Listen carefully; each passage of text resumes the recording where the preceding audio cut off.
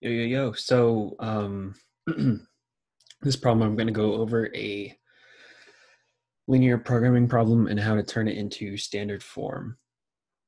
So, linear programming, if you don't know, is one of those things where um, it's mainly used for optimization. So, you can optimize um, a lot of different things. You can you can minimize uh, whatever you, you like, whatever objective function that, that you want, or you can optimize. You can maximize different things, and this is used a lot in like business or finances or really just anything. So let's kind of start us off here and putting putting this stuff into standard form definitely helps a lot.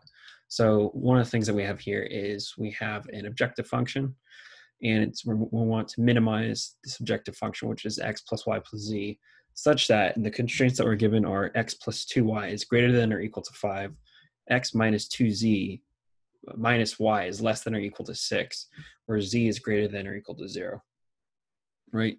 So first off, this is a nice little problem, but we kind of want to put it more or less into standard form. So standard form, if you don't know, is we don't necessarily like the minimization problem. We like maximization problems. It's easier to maximize than minimize. So in order for us to um, to really kind of go, go forward with this, we need to really sort of change it into a maximization problem. Well, how exactly do you change it from a minimization problem to a maximization problem? Well, it's really simple. You actually multiply your objective function by negative one, right? So now this turns into a, let's use blue here again. Now we're going to maximize this function. Again, we're going to multiply the objective, the objective function by negative one. So it's going to turn into negative x minus y minus z and such that now, if you look here on the left-hand side, the first constraint has a greater than or equal to sign, and that's not standard form for a constraint. The standard form for a constraint is like the second guy here, which is the less than or equal to sign. So we need to figure out a way of how to make, um, how to basically flip the inequality. And if you remember anything from Algebra 1, um, one of the things that you can do is multiply again that equation by a negative one. And you actually end up flipping that, right?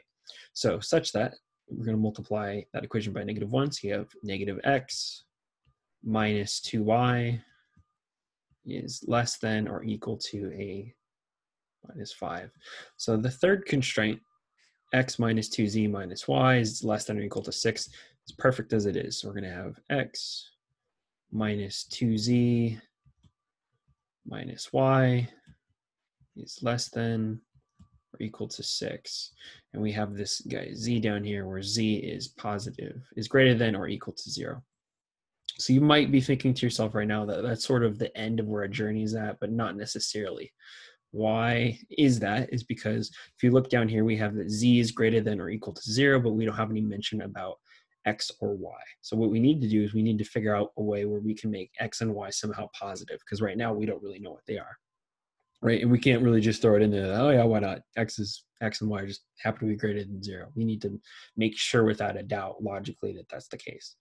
So in order to do that, what I'm going to say is let's do something right here. Let's say let x equal the difference between two other variables let's just say a minus b in this case, right? And we're going to say that where a and b are both greater than or equal to zero, right? And same thing for y. So we're going to have y is equal to c minus d, where c and d are both greater than or equal to zero. All right, and again, the reason why we kind of do this is because we can't really just throw it in there that x and y are positive. We need to kind of make this so. So if we have two other variables like a and b, we both might make them positive. We can have sort of like almost like a linear combination of them to make whatever constant for x that we want it to be. All right. So kind of going forward with that, let's turn to let's turn to a different color. Now our problem turns out to we want to maximize a minus, what is x? x is a minus b minus y. Well, what's y? y is c minus d minus z. Cool. Such that minus x, well, x is a minus b, minus 2y, well, y is c minus d, is less than or equal to negative 5. And then we have x down here, but x is really just a minus b. minus 2z minus y, well, y was equal to c minus d, is less than or equal to 6. Now where we have a,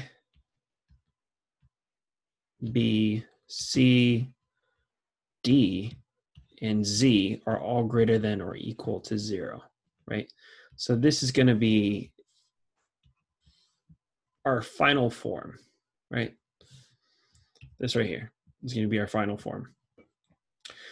Again, what you um, getting getting linear programming problems into standard form is sort of like really um, sort of like a really big thing.